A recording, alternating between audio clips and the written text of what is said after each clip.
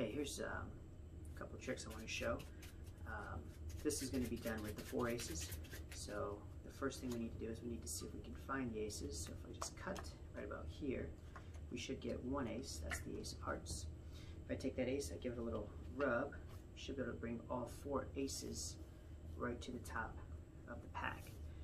Just a little bit of a static charge. Once you get the aces out, um, now you're going to have a card selected. So I'll just riffle down the edge, somebody will say stop, and then we'll give them the card that we stopped at. In this case, it happens to be the 10 of hearts. Okay, so we're going to take the 10, we're going to lose that back in the pack.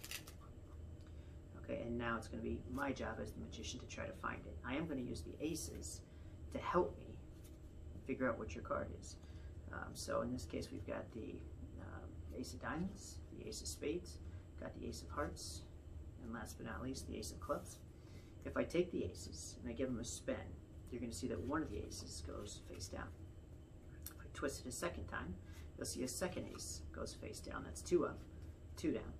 If I spin it three times, you'll see that three aces go face down. And of course, with the fourth spin, the fourth ace is going to go from face up to face down. Now, if I spin the packet in the opposite direction, it has the opposite effect.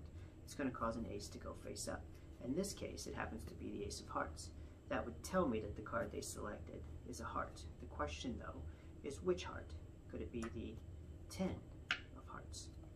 Now, if we get the 10 of hearts, it might be nice if we go ahead and we get the jack of hearts, the queen of hearts, the king of hearts, and the ace of hearts to have a perfect royal flush in hearts.